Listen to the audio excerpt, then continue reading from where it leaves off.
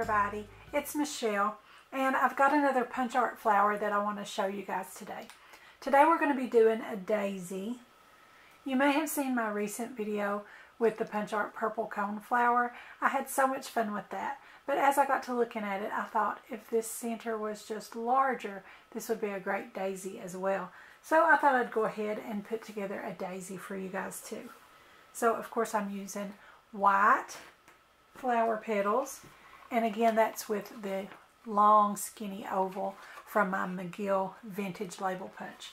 And I will leave you guys a link to as many products as I can that I'm using in this today. So I've just got white cardstock in that long oval and I cut out looks like about eight there. I don't know how many I'll use.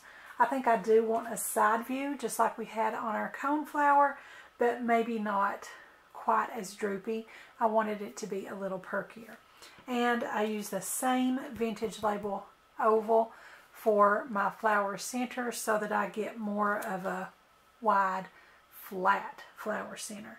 And instead of that droopy curve from the rainbow die that I used for the stem on my cone flower, I'm just going to use a straight strip of scrap green patterned paper that I had we're just going to arrange our flower petals. First of all, let me give them a little bit of dimension too.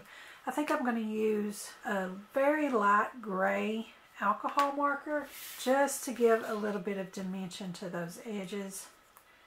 And it doesn't have to be much. This is a very, very light gray.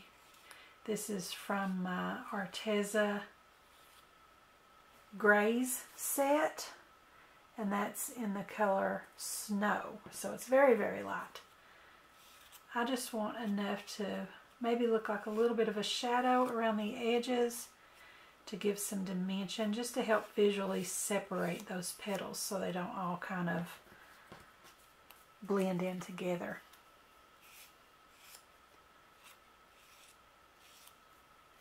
And you could do this with ink as well, like I did on the coneflower with the purple ink whatever you've got that's the right color that you need. You could even color lightly around the edges with some colored pencils. Just whatever gives that little bit of dimension. And again, I don't know how many petals I'm going to be using. I'm just going to see when I'm happy with it.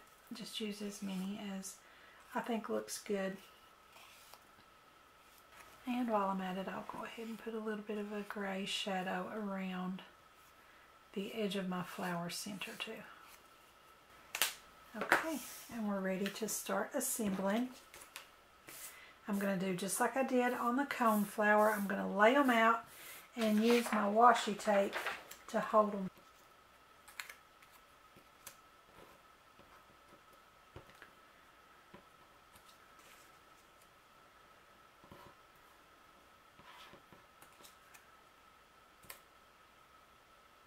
Okay, I think that's going to be a good daisy. That's a side view like we had on our coneflower, but not quite as droopy. It's a little perkier, and it looks like I used about six of those petals. So I'm going to take my washi tape again and just tape it straight across. And that will hold everything in position so I can get some glue in between.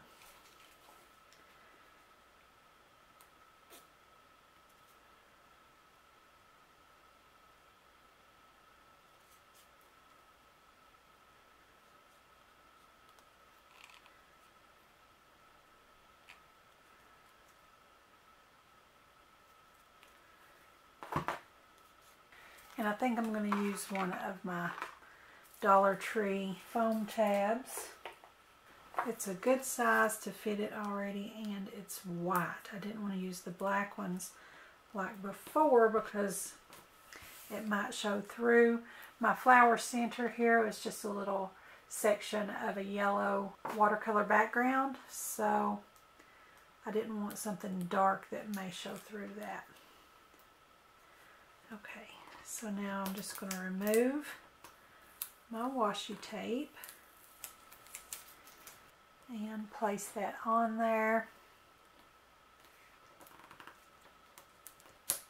Again, I want a little bit lower profile than what I had with my cone flower. And it's barely catching the edges there. I'm going to put my release paper back on that until I'm ready to stick it down to probably a scrapbook page. And this time I'm just going to use a straight stem because daisies are a little perkier. So I'm just going to put my art glitter glue on the top part of my stem.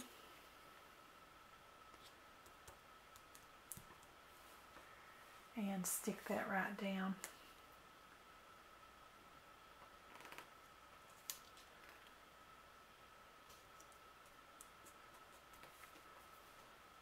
There we go. I think that looks good. I'm happy with that placement, so I'm going to leave it right like that. And there is your daisy flower. And again, you could use more little strips to create some grass at the bottom. But it's just another fun idea of how to create a flower with some simple ovals. So be sure to leave me a comment below and let me know what you think about it. Don't forget to subscribe to my YouTube channel. Give me a like over on my Facebook page. And be sure to join our Facebook group, Craftie Minds. Also, follow me on Pinterest and Instagram, and don't forget to visit my blog. I'll have the links to everything in the description below, so be sure and check them out. Thanks for watching. I'll see you next time.